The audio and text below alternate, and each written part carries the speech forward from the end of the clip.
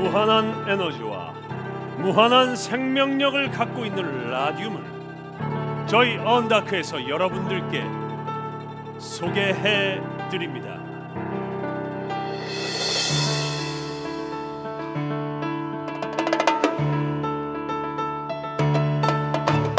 연료 없이 빛나 에너지의 폭발 라디움 놀랄만한 혁신 획기적인 물건 치명적인 유혹 라듐 향수 바로 느껴질 거야. 원터 새로운 너로 다시 태어날 거야. 라듐 치약 비누 라듐 시가 캔디 매니큐어. 라디움 신발 장갑 라디움 팬티 안경 샹들리에. 눈을 뗄 수 없어 라디움 반지 밤새 빛나는 얼굴 라디움 크림. 핫한 너로 다시 태어날 거야. 신이 주신 선물 기적 같은 그네 라디움 약한 건 강하게 하시고 강한 건더 파워 업 라디움 저희 언다크의 자랑 보물 라디움 엔젤스를 소개합니다. 품격 있는 삶을 원한다면 라디움 느낌인데.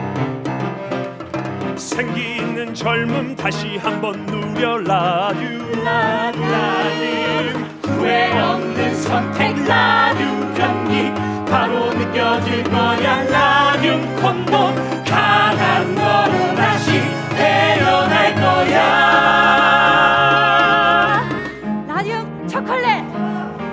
라디움 스캅 라디움 란제리. 마지막으로 언다크의 주력 상품 라디움. 시계. 신이 주신 선물. 기적 같은 그네 라디움. 약한 건 강하게 하시고 죽은 건 벌떡 일으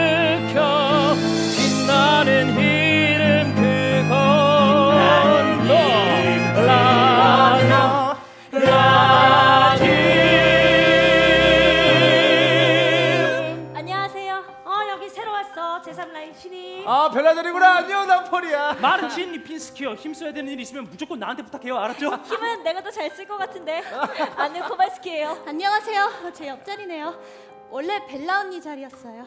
걱정하지 마 아멜리에. 벨라 다시 오면 자리 다시 주신댔어. 그리고 쉬는 동안 월급이랑 병원비도 그대로 나갈 거야. 아, 정말요?